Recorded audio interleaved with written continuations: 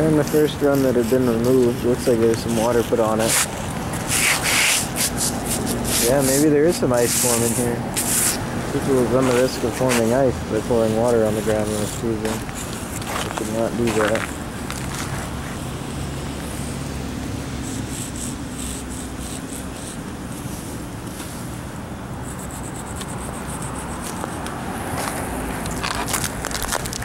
Trust them you feel. Everyone